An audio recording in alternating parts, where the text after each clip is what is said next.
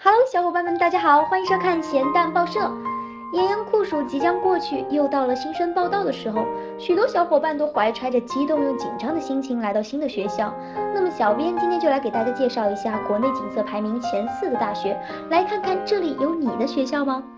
每年的春季三月是武汉大学一年当中最美丽的时刻，樱花的盛开吸引了全国数百万游客前来赏花。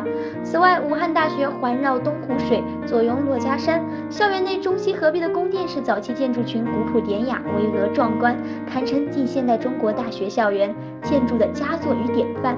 厦门大学的海滨风光十分的秀色可餐，建筑散落云雾之中，若蓬莱仙境。校园有芙蓉湖、情人谷、水库等景点，所以也有谈情说爱在厦大之说。不过想想脱单，对各位小伙伴来说也是挺难的吧？提到北京大学，应该第一个想到的就是燕园，所以也有北大之美再赴燕园一景，燕园之美存诸未名一壶。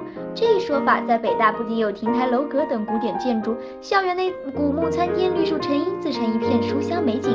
中山大学树影婆娑，鸟语花香，尽南国风光之妩媚，是全国高校获馈赠最早最多者。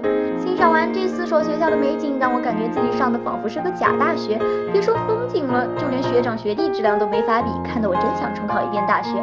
只怪当年太年轻啊！不过话又说回来，不管是什么大学，都是一种历练。没有好的风景，但是每个人在大学中学到的东西都是不可取代的。